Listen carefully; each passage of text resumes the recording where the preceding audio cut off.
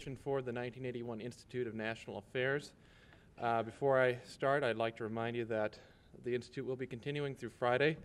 As a matter of fact, we do have speakers tomorrow that should be of interest. Leo Pfeffer will speak tomorrow evening on religion and law under Reagan. Tomorrow afternoon at 3 o'clock in the Memorial Union, Raymond DeLosto, former chief counsel for the Wisconsin Civil Liberties Union, will speak on the role of state appellate courts in the Burger era. Tonight, as you're aware of, um, we have Mr. Ramsey Clark to speak.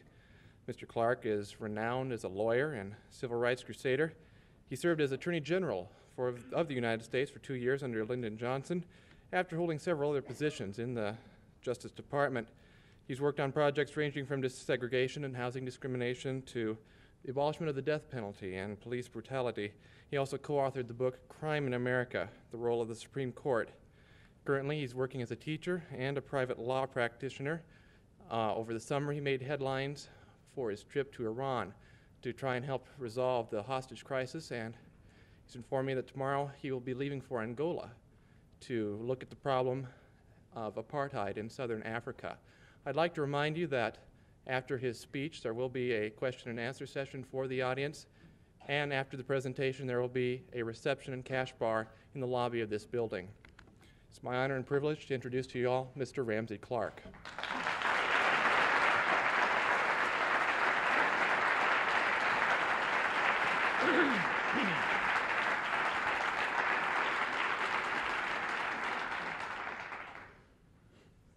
Well, good evening.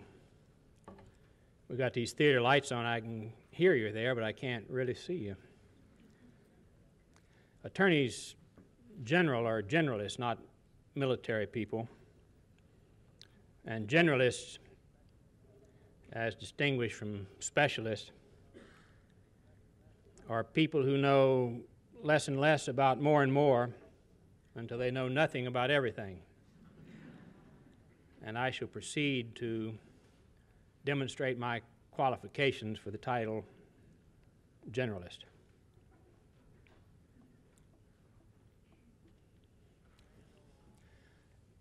The grand old 10 or 189 last December 15. The Bill of Rights.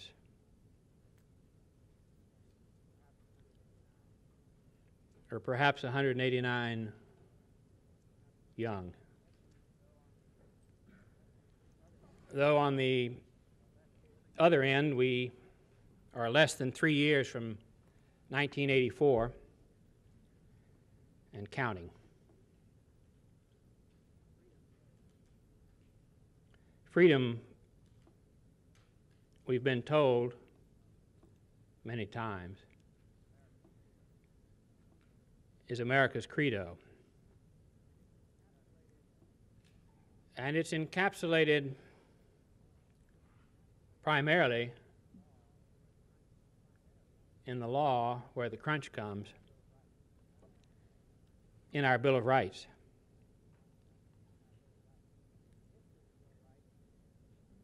The history of the Bill of Rights for me is surely one of the most exciting histories in the story of human freedom. And I love history and do believe that it can help us understand from whence we come and even whither we tend. But rather than analyze the past, I want to try to look to the future with you because it's upon us. Hegel, in his treatise, The Philosophy of Right, suggested that right is freedom as idea. And that all of history is nothing but the expansion of that idea of freedom. is not one of my favorites, but I like to concede a point to the opposition now and then. I would suggest that the growth of freedom, rather than the somewhat quaint expression it's given in the Bill of Rights, is the most exciting thing about our experiment in government.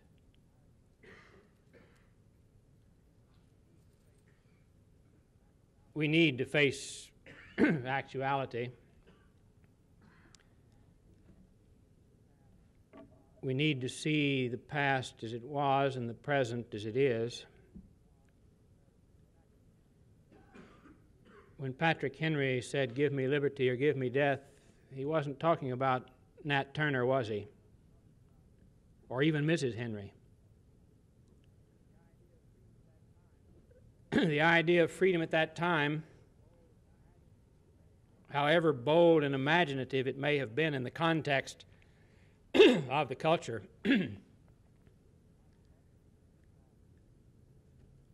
was small,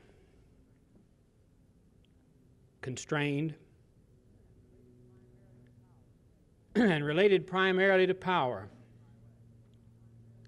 to having my way.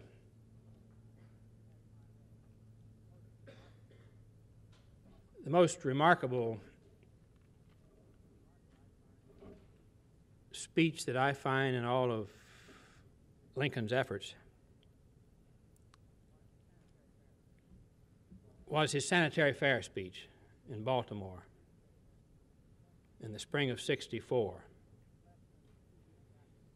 it was less than two weeks after the Fort Pillow massacre.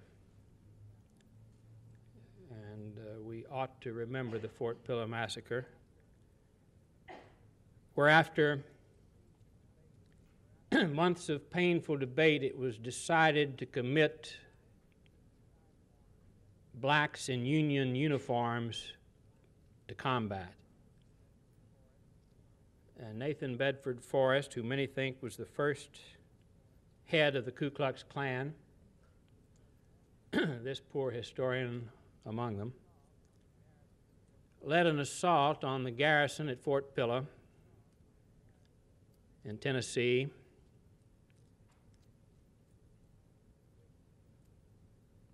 In which the entire black segment of the garrison was murdered. Forrest himself wrote that the Mississippi ran red for thousands of yards. And later congressional reports carried stories of blacks being shot while on their knees, while standing in groups, while swimming in the river helpless, a slaughter. Lincoln had to try to confront the meaning of this when he came to Baltimore. He hadn't been to Baltimore since February of 1861 when he came through late at night on a train, many say in woman's clothing, literally and the first Union soldiers that tried to move from Pennsylvania and Massachusetts through Baltimore got fired on because it was absolutely dangerous. And uh, Lieutenant Pinkerton urged him not to go through Baltimore at all, but he did. Now he came back. And he began his speech. A man in the midst of a bloody war, a civil war, and also an upcoming election with the military industrial complex running General McClellan against him, with this improbable sentence The world has never had a good definition of the word liberty. And the American people just now are badly in want of one. He went on to say that all proclaim for liberty, but all do not mean the same thing when they use the word. And cited how very, very frequently Jefferson Davis and many others speaking on the other side of the line proclaim themselves the true champions of liberty.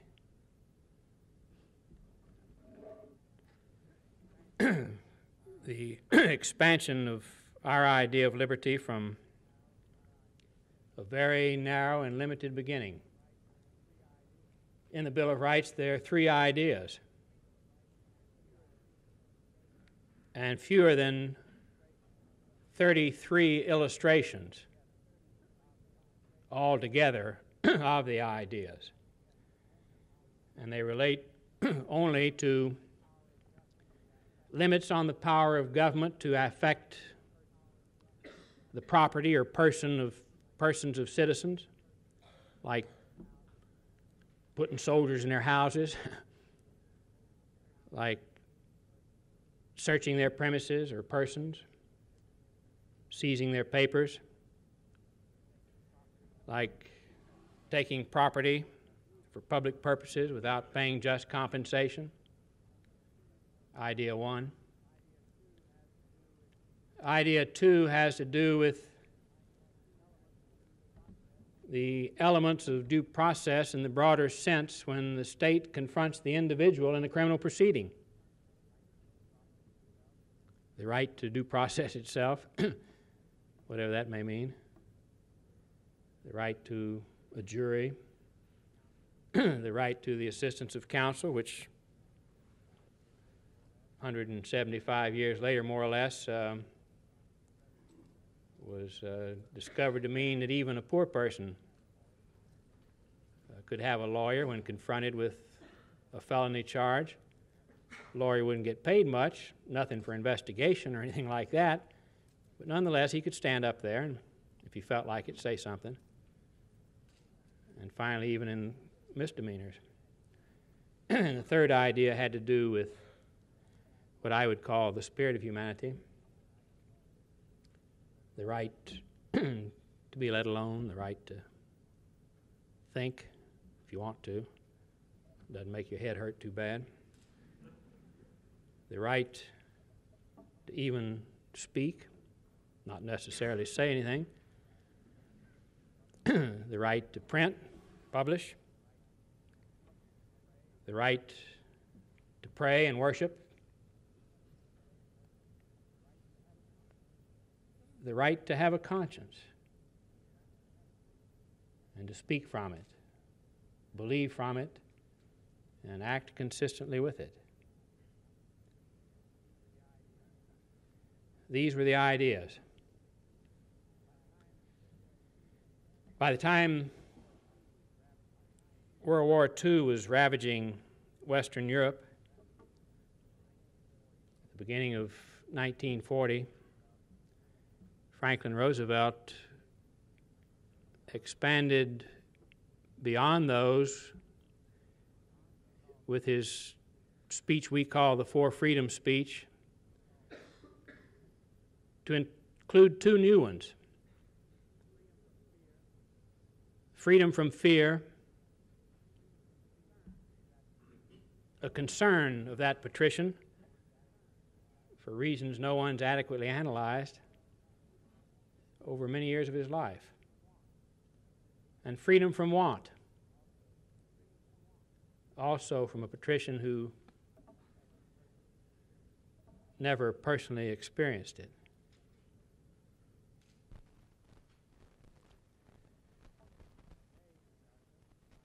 Today in America, in my judgment, the idea of freedom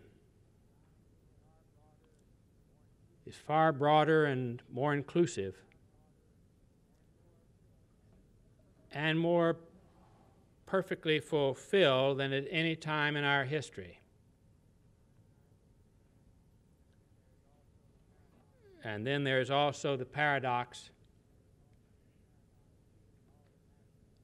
that freedom in all of its aspects was never so endangered.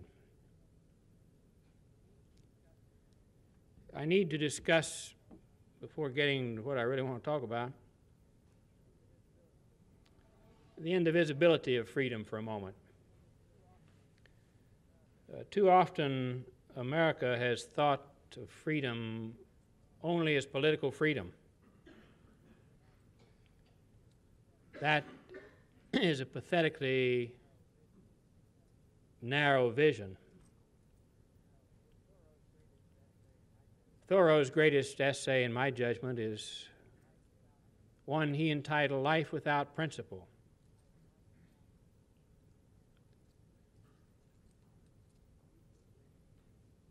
Beautiful to read. in it, he said, Take it as a given, if you will,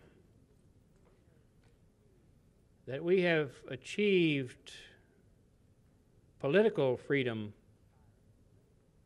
from a tyrant. We are clearly still the slaves of an economic and moral tyranny. And in his value priorities.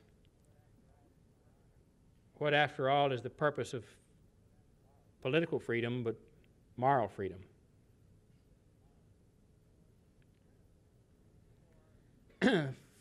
For the people of the United States, the only nation in history, Chesterton said, founded on principle, the principle being freedom,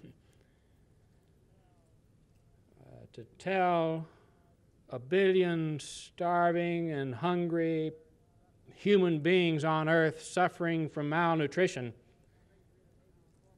that the great writ of habeas corpus is all you need on earth, won't do. I say that as a person who spends uh, a great portion of his waking hours seeking writs of habeas corpus. But that great writ run to a bag of bones that can't stand up doesn't work. As the Grand Inquisitor said in that powerful scene in The Brothers K.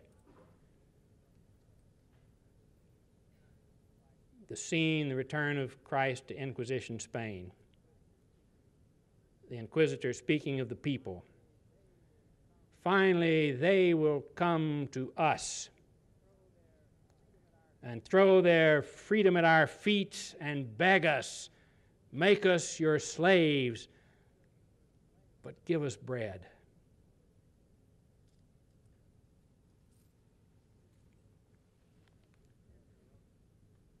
Pindar wrote that culture is lord of everything, of mortals and immortals king. Bacon called culture the principal magistrate of life on earth.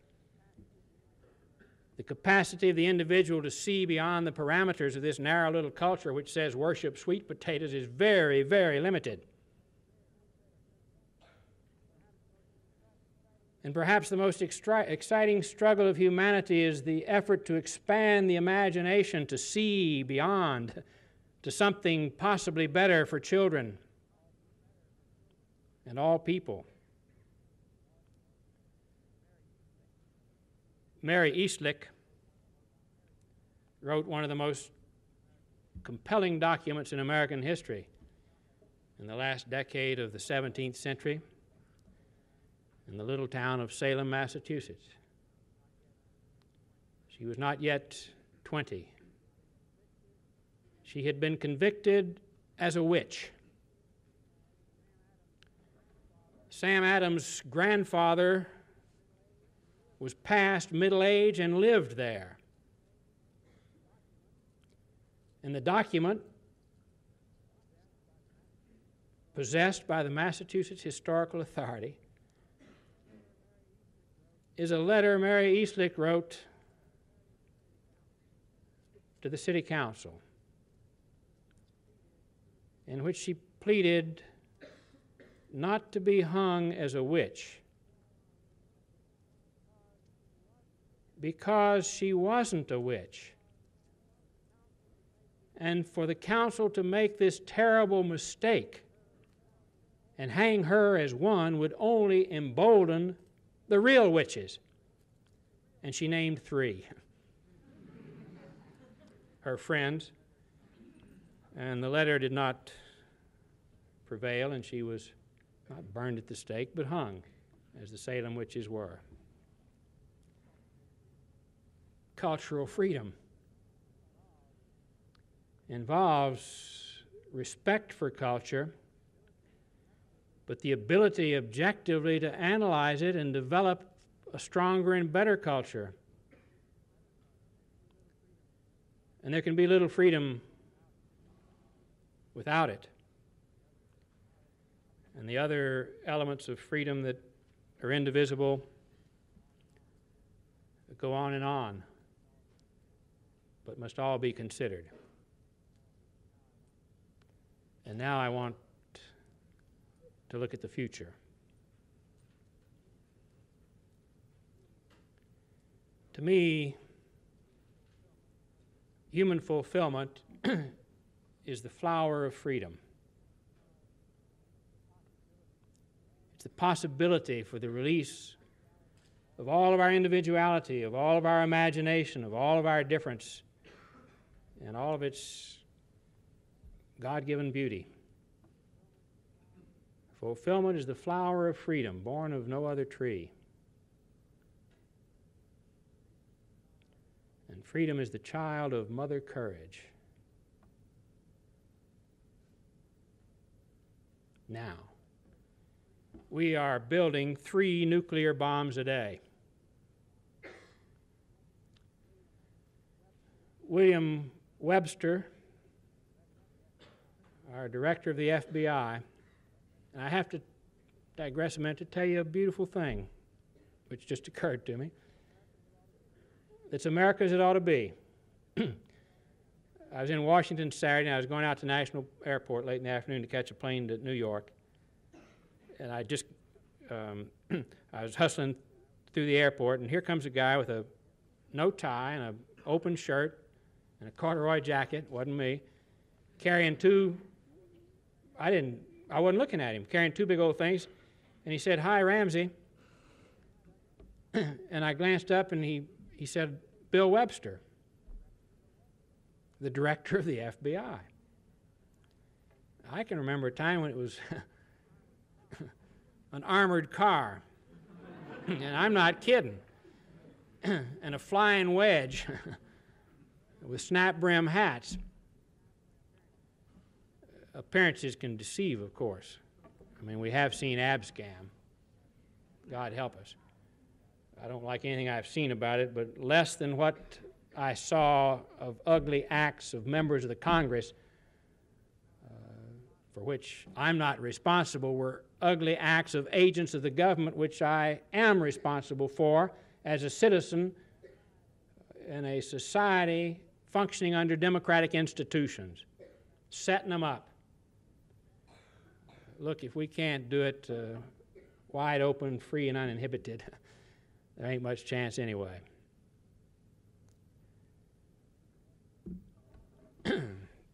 I believe 11 nations have the bomb. No one who studies the situation thinks fewer than 25 or 30 will have the bomb by the year 2000. This same William Webster, who I saw in the airport Saturday, just like plain old people, said a year ago, in November, that it's possible to go into the library of any college or university in America and obtain information from which you can build an atomic bomb that you can carry out on your back. Heard any comments lately about how we're not going to permit terrorism anymore? You know, there's a real world. There really is. and a bunch of fatuous statements don't solve problems.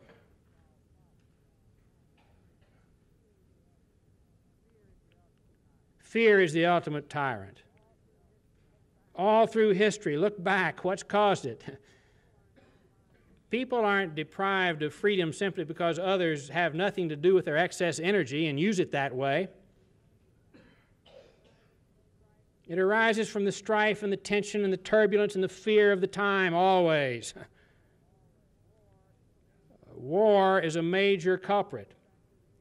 If you look back through the history of the Bill of Rights, you'll find the major violations. All when are the when's habeas corpus suspended? In time of peace? When does it all happen? When do they haul Eugene V. Debs away to jail in Canton, Ohio, uttering it's a very dangerous thing to exercise the fundamental right of free speech in a world fighting to make uh, the globe safe for democracy? 1918, that's when. What do you do to save society? From the bomb? How does freedom face it? I've been criticized for being so arbitrary, so ideological on the idea of freedom as to be impractical and to endanger freedom. As Attorney General, I oppose capital punishment, I oppose wiretapping, refuse to use it, all the rest, informers. but last fall I testified under subpoena from the government in the trial of two former high officials in the FBI, Mark Felt and Ed Miller. L. Patrick Gray was never brought to trial. He was the acting director. They were indicted for violation of fundamental human rights.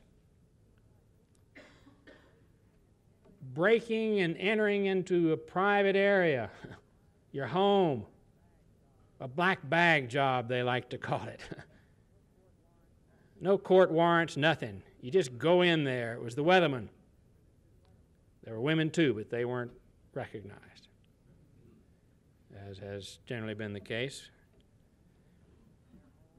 And their homes and privacy were invaded um, as efficiently as modern technology can. The government asked me questions you would expect. Uh, while you were Attorney General, did you authorize any black bag jobs? No. Did you hear of any? No. Were you ever asked to authorize one? Yes. Uh, what was that? You describe it. Did you do it? No. End of direct examination. Cross examination. Mr. Clark, are there any circumstances under which you would authorize entry into a protected area, a home, without a warrant.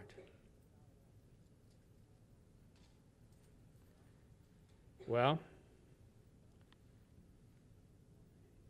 you want to be as absolutely true to what you think is possible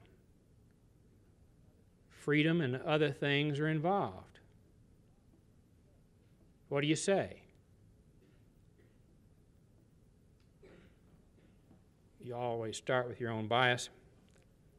I've never seen them in real life. I served in the department for eight years. I never saw one.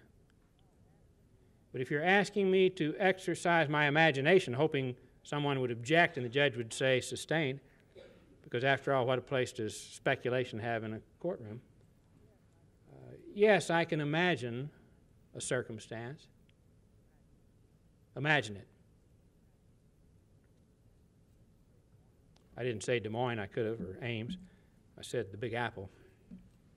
Take care of number one first. There's a bomb.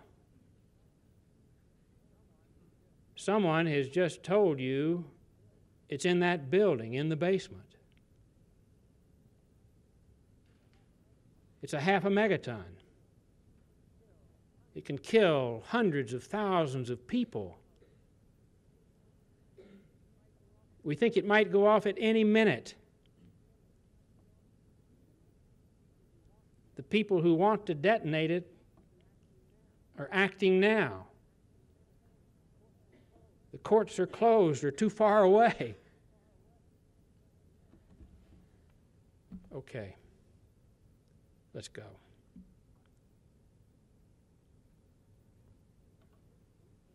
If we permit the future to confront us with the fear of such choices,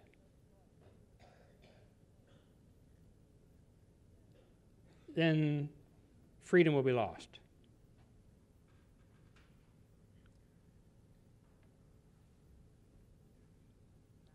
Our capacity today to destroy has, in Faulkner's words, left only one question.